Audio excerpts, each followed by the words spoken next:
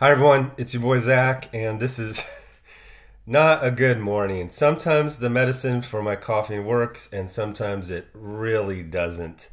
Um, so I think I'm okay if I keep this to a few minutes.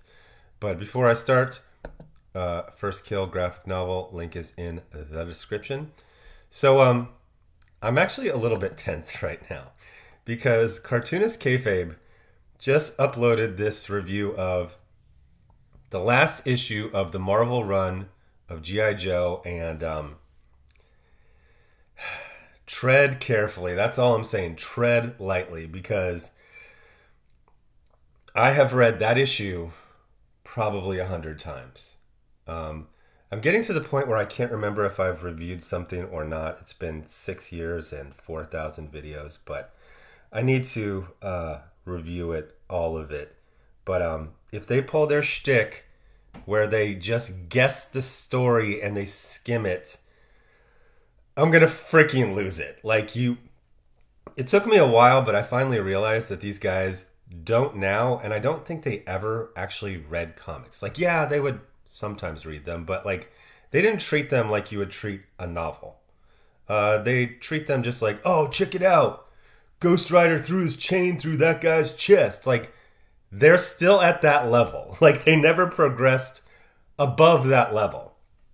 So, um, they already pissed me off with the way they reviewed Deathblow Wolverine like a month or two ago, where it was clear they read like the first few pages and then just skimmed and guessed I did I did this I did this uh, video like last week where I said, "Is Perch a billionaire?" Not really thinking he is, but maybe he is. Are cartoonists kayfabe illiterate? Like, can they read? We're just assuming they can read. Maybe they can't read. So anyway, this was going to be kind of a lighthearted uh, video, and then right before I was about to get ready, I saw this, so I'm kind of tense. So this is not a review of Fabulous Furry Freak Brothers number one, Toot Toot, some kind of drug reference, I believe. Um, but I do need to reread these and um, uh, review them. I had a, a phase, a Freak Brothers phase back in the 1990s.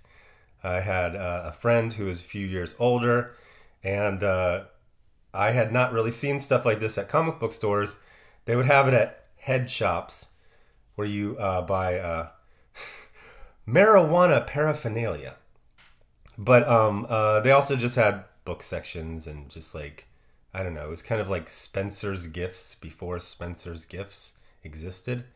But um, uh, I used to buy these, and uh, uh, my friend would always t- tell me it's like, you know, the guy who made these, he's rich. like, I mean, rich by the definition of a broke guy in 1997, sure, I'm sure he was rich. Um, but uh, I was thinking about a resource uh, that we had lost. In that, when I started collecting comics, basically everyone who ran a comic book shop, this was late 1980s, looked like either Cheech and Chong or Cheech or Cheech or Chong or one of the fabulous furry freak brothers. These were older hippies. Of course, I was a teenager, so somebody old was somebody in their 30s. Um, but uh, I don't know if it's, it was like that on the East Coast, but in the Midwest and Texas, it was to a man cranky hippies. Now, hippies have a weird a weird rap because hippie is often used as a way to say liberal or left wing, but there were all kinds of hippies. There were communist hippies, there were left wing hippies, there were uh, there were actually like conservative. I, I guess they would be more libertarian, kind of pre-libertarian hippies, and that's what a lot of these comic book shop owners were back in the day. They uh, they liked Fabulous Furry Freak Brothers, but they realized selling that to teenagers in the late 1980s was probably going to be difficult. So, what they did is they sold whatever was popular. Frank Zappa has this great uh, clip from an interview. It's about four minutes long, so it's too long to show. I will uh, summarize it.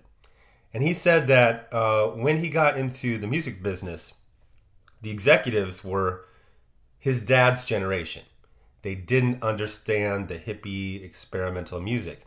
So they were initially very resist, re- resistant to it. Then they kind of tried it a little bit. It sold well, and they said, We don't understand this. We don't understand this audience, but it sells well. So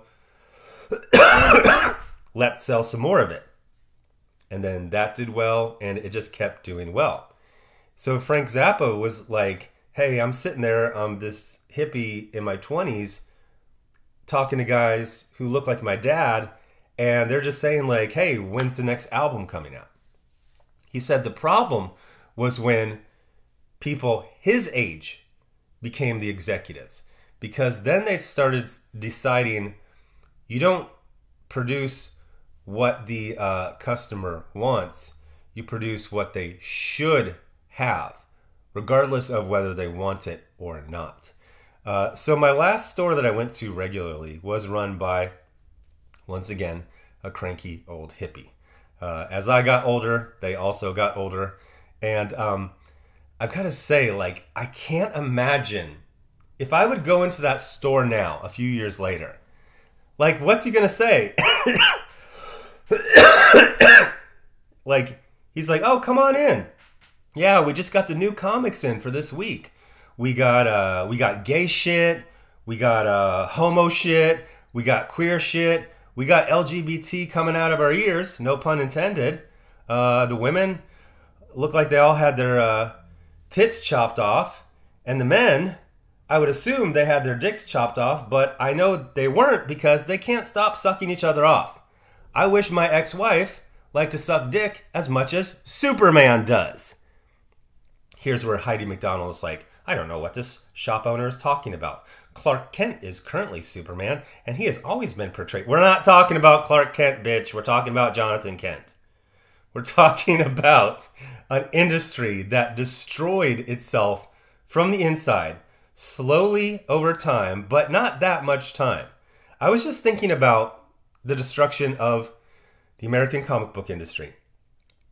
That was not like, oh, nobody noticed the old bridge was being eroded. Like, literally, between me and a couple of my friends, there are 20,000 videos delineating the destruction of the American comic book industry. I had a friend who said something brilliant.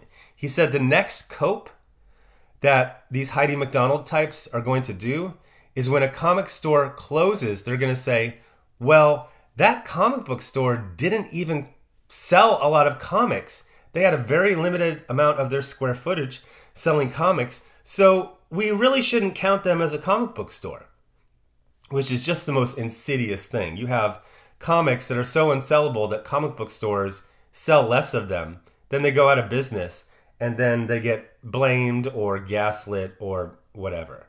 Um, but uh, I just try and put yourself like in the position of a comic store owner in 2023. Like, what are you supposed to say? It's like, hey, uh, when someone's like, oh, hey, who's the hot new writer? You're like, uh, I can't name any from the last five years, but about six years ago, Donny Cates started getting into the mainstream, and, and that went pretty well for, for a while. And now he has to keep going to uh, rehab because he got in a car accident. That was it. That was the only thing that happened he got in a car accident and that's why he disappeared for a year. There wasn't another reason. But uh, yeah, like I cannot imagine being that old cranky hippie. And the ones who were in their 30s when I started collecting comics, they're now in their 60s or 70s. And a lot of them are just closing up to shop. Now, the thing is, if you read uh, towards the end of the article, they will often mention trying to sell the shop, and nobody wants to buy it. Can you imagine, like, jumping in to the game of selling comics right now? How do you do it? How do you get people excited? There's not even the equivalent of those uh, hippies in their 40s in the early 1990s saying, I don't understand this Rob Liefeld thing, but it sells. I hate this shit, but it sells. Yeah, I ordered 100 copies for the store, and I wish I would have ordered 200 because they are all gone already. There's nothing like that. There's no excitement. How are you going to sell nothing? Hey there, you look like a savvy customer. How would you like to buy some gay shit? I don't know. Who's gay right now? Is Spider Man gay? Oh, how many? Uh, are all the Spider Mans gay? Are all the Spider people gay? When I talk to my normie friends, many of whom collected comics for decades, whenever I say, like, oh, did you hear about. And they'll be like, okay, who's gay now? Like, even the most normie normies know the only trick that the comic book industry has, and they just keep pulling the same rabbit out of the hat, just turn someone gay. They're like, who's gay now? Is Daredevil gay? Is uh is Hulk gay? Is Hulk gay and in a loving relationship with General Thunderbolt Ross? I always want to say to these people who just obsessively turn every character gay that they can. What character is just definitely not gay? Like it would never happen and it's just not possible. Because they won't do that because to them every character it's like J. Jonah Jameson, more like gay Jonah Jameson. Cable, hmm, more like Gable. Gambit, more like Gamebit.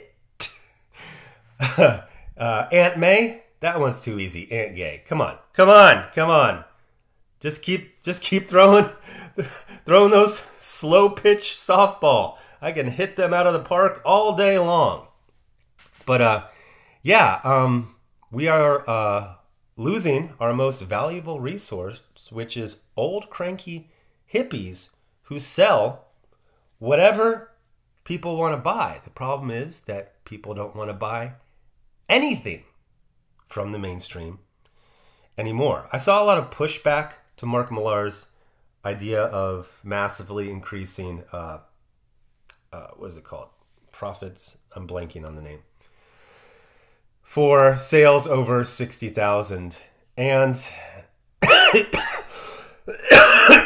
was for lot, lots of different reasons.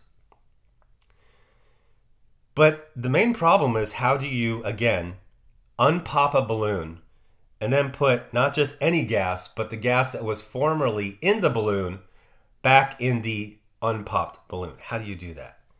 In my mind, it is impossible. Um, so, uh, yeah, I mean, I remember when Donny Cates got popular, every cranky hippie in Texas was pushing the shit out of Donny Cates, and it was it was selling quite well. And then he got in a car accident. Yeah, that was the only thing that happened. But anyway, before I go, first kill graphic novel. And if somebody watches this, I'm gonna watch it anyway, but oh, I've always gone pretty light on these guys. If these guys fuck this up, It's not gonna be pretty. It's not gonna be pretty.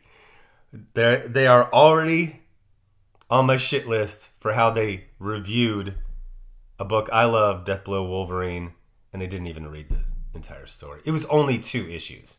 They read like half of the first issue, and then they just guessed. Oh, check it out, bro! Uh, uh, the Hulk just punched that dude through two buildings. Like I would not say they are insightful when it comes to character and story. They are quite good at uh, critiquing art, but uh, I think it's because they only see comics as essentially art books, not actual narratives. Anyway, before I go, first kill graphic novel link is in the description. Thanks for watching. Bye.